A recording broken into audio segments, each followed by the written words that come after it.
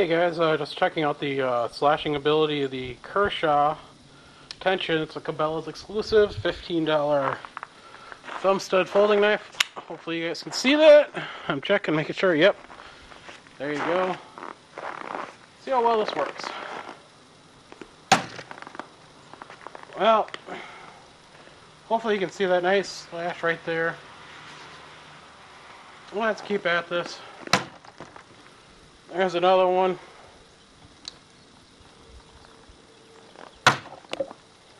Another one.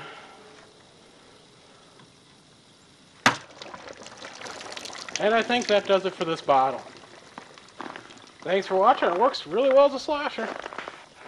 And for 15 bucks, you might want to give it a shot if you got a Cabela's nearby.